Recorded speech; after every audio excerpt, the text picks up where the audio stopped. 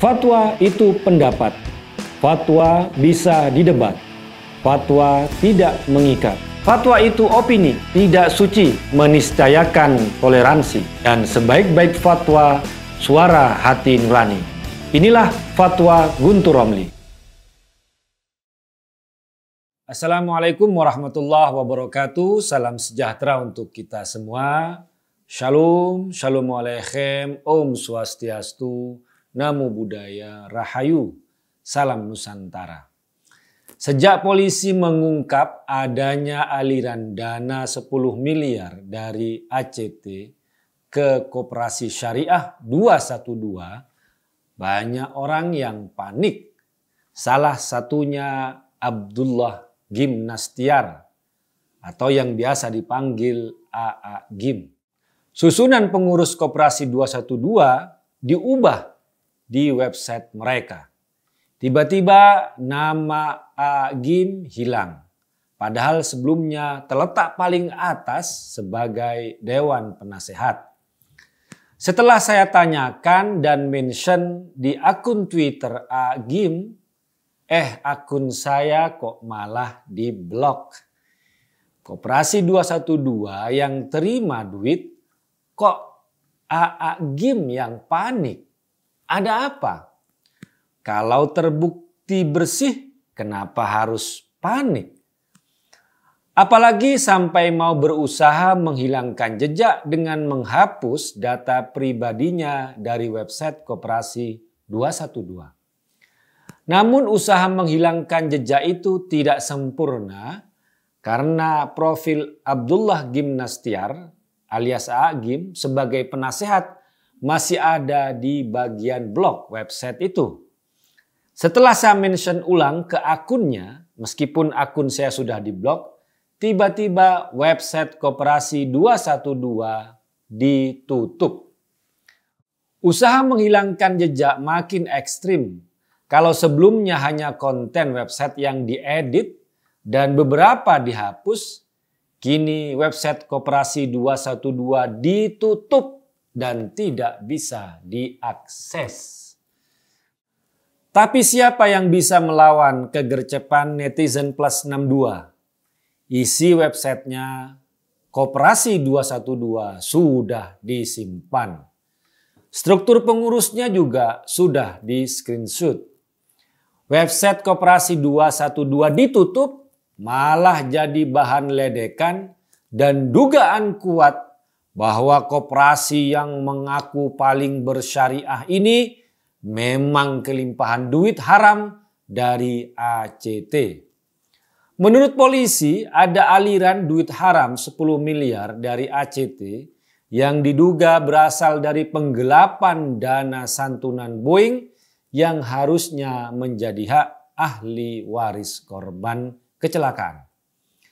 Kali ini saya ingin membahas klaim syariah yang dipakai Koperasi 212. Kalau nanti terbukti mereka menerima duit haram dari hasil penggelapan dana, maka tak layak lagi disebut koperasi syariah, tapi koperasi jarimah alias kriminal. Syariah itu pasti legal. Syariah artinya tuntunan Allah subhanahu wa ta'ala kepada hambanya yang harus dilaksanakan. Sedangkan jarimah artinya kejahatan, kriminalitas, tindakan pidana.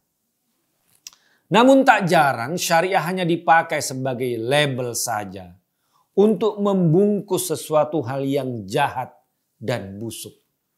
Bungkusnya pakai syariah, tapi faktanya adalah jarimah alias kriminal.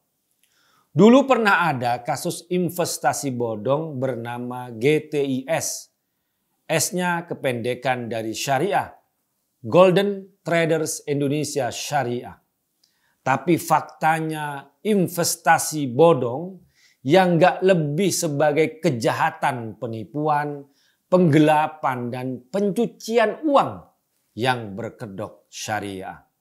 Konon juga label syariahnya itu didapat dari MUI.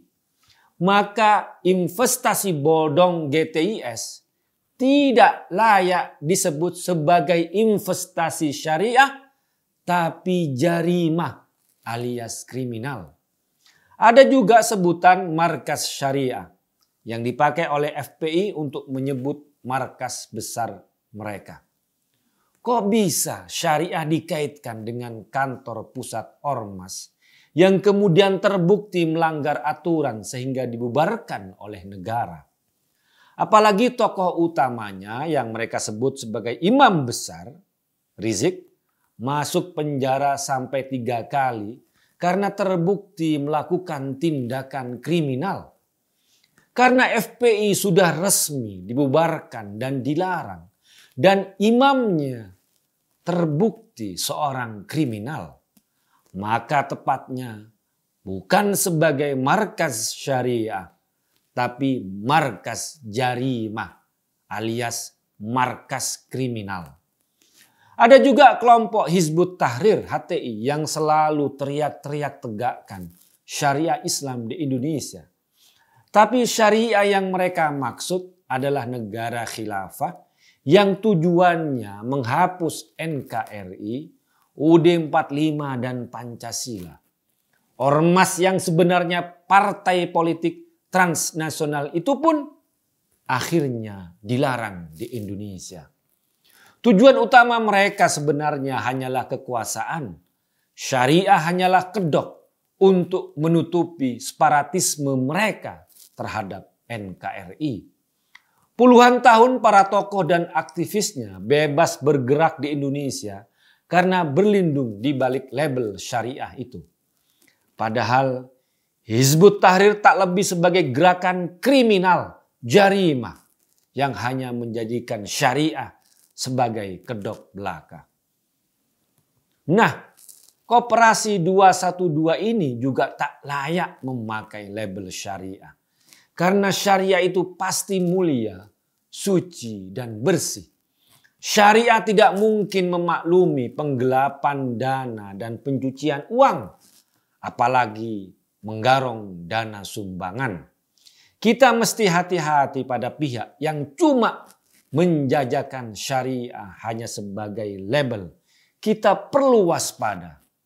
Apalagi yang umum, politisasi syariah yang sering dimainkan dalam politik identitas. Seperti munculnya perda-merda yang mengaku sebagai perda syariah. Yang cuma memasang tulisan-tulisan berbahasa Arab dan plang-plang yang berisi kutipan ayat Al-Quran dan hadis misalnya di jalan-jalan, atau mengurusi dan memaksakan pakaian yang diklaim paling sesuai dengan syariah. Tapi ternyata hanya untuk menutupi kegagalan para penguasa daerah untuk mensejahterakan rakyatnya dan bebas dari korupsi. Karena ini modus paling buruk dan mudah yang bisa dilakukan oleh penguasa daerah kalau cuma pasang plang dan bikin aturan soal pakaian merupakan pekerjaan yang sangat mudah. Tapi coba mereka dituntut untuk bisa mensejahterakan warganya, membuka lapangan pekerjaan, menjamin pendidikan dan kesehatan warganya yang berkualitas tinggi, serta tidak korupsi. Maka ini merupakan pekerjaan yang tidak mudah dan pemimpin yang mensejahterakan warganya sebenarnya juga substansi dari ajaran syariah. Tasarruful imam ala ru'ayyah manutun bil maslahah. Kebijakan pemimpin atas warganya berdasarkan kemaslahatan warganya.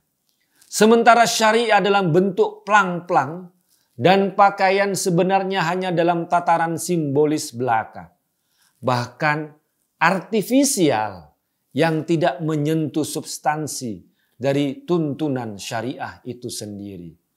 Apalagi yang banyak terjadi bukan pelaksanaan syariah, tapi malah syariah hanya dijadikan kedok atau modus memperdagangkan agama dan syariah. At-tijarah bid-din, at-tijarah syariah atau politisasi syariah, tasyisus syariah.